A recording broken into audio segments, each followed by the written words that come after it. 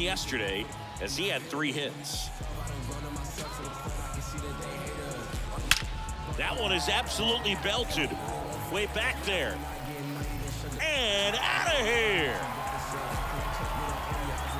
He made him pay for that one, and they jump ahead in the second. It's 3 nothing.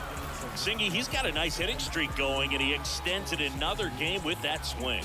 So locked in right now, Boog, and clearly it's not like he's just stringing singles together during this streak. When you're working with this kind of velocity, so critical that you move the ball around, work quickly, and make sure that you keep that hitter off